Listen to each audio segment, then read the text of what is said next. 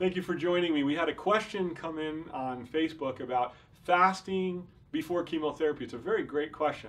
Now, uh, in 2015, we, we published a paper called Novel Approach to Chemotherapy and the Administration of Metronomic Fractionated Chemotherapy. What that means is novel ways to give chemotherapy. And one of the sections in that article was fasting. So what happens when we fast? We metabolically stop feeding cancer cells. There have been studies done on breast cancer, melanoma, um, other cancer types where when the cancer is not getting its nutrients, it starts to slow down, die off, it's not able to be fed.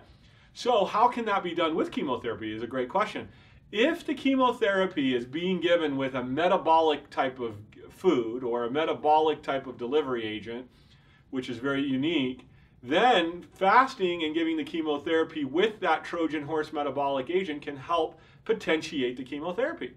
In our genetically targeted fractionated chemotherapy, that is one of the techniques we use within the genetic selection of the chemotherapy, shutting down the multi-drug resistance, and then using the food, if you will, that the cancer cells want with the chemotherapy so that they take it in and it acts as a Trojan horse to get the chemotherapy in. So I hope you enjoyed that. If you want to look into more of that, you can look at our video on genetically targeted fractionated chemotherapy and look at our proprietary method for delivering targeted treatment for patients.